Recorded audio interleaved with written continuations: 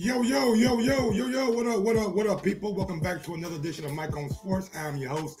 I go by the name of Mike Gross, man. Big ups to that 501 and that 317.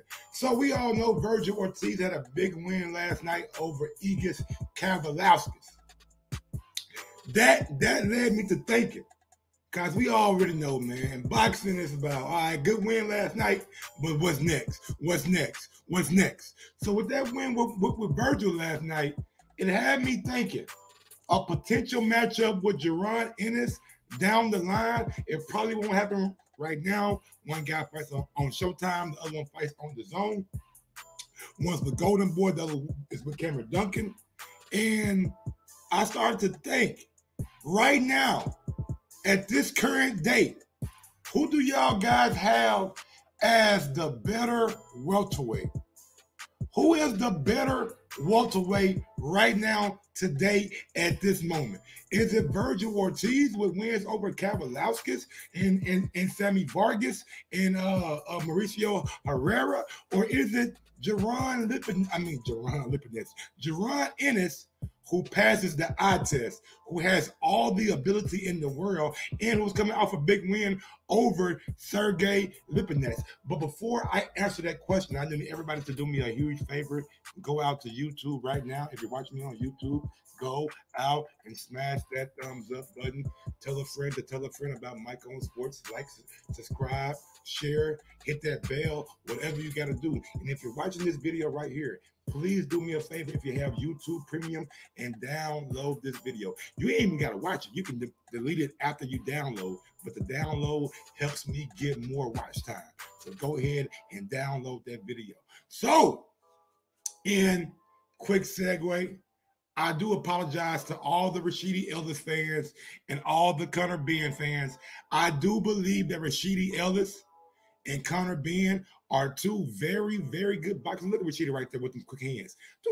Very, very, very, very fast hands. But they just don't have the fanfare and the, the big wins under their belt like Jaron Ennis or or, or uh, Vergil Ortiz has.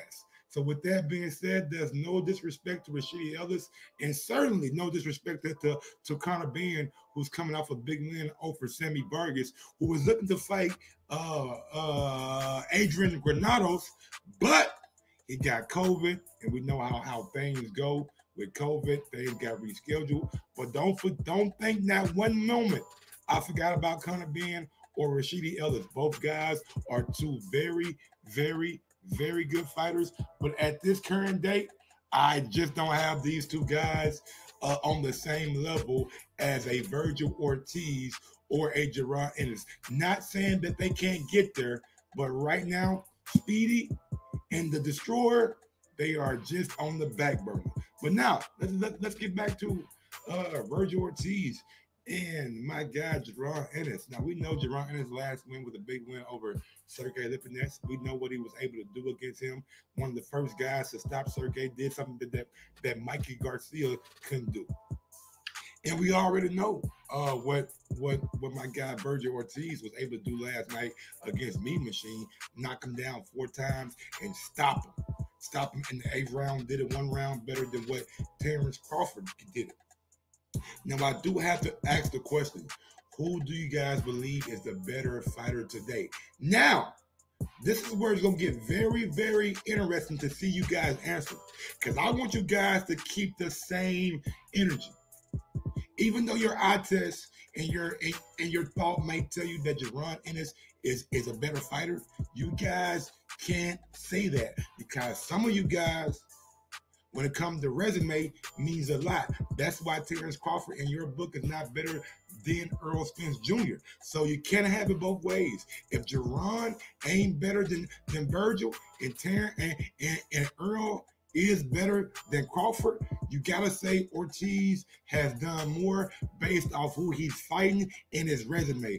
Wins over Herrera, wins over Sammy Vargas, and now a big win over Egis Kavaliauskas. So y'all know me. I keep my same energy, and I feel like Terence Crawford is better than Errol Spence. And I also feel like if I had to pick today, if I had the Mike, you say you got 147 to pick from a young prospect, do you want Jaron Ennis or do you want Vergil Ortiz? I'm sorry to tell y'all, my answer would be Jaron Ennis. No disrespect to what Vergil Ortiz has accomplished. But my eyes tell me that maybe Jaron has a little bit more in his tool bag, a little bit more in his in his in his repertoire than what Vergil Ortiz has. No dis- disrespect towards Vergil Ortiz. I'm just giving y'all my opinion. Until next time, smash that thumbs up button. Tell a friend to tell a friend about Mike on Sports and just do what the video tell y'all to do, man.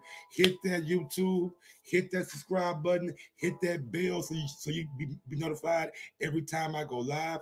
Like, comment, share, do whatever you got to do so, to support Mike on Sports. I appreciate it. I'm about to sign off. Until next time, drop that, drop that, drop that beat on. Sometimes you gotta give people their flowers. Uh, while they can still smell them. Mark Nash.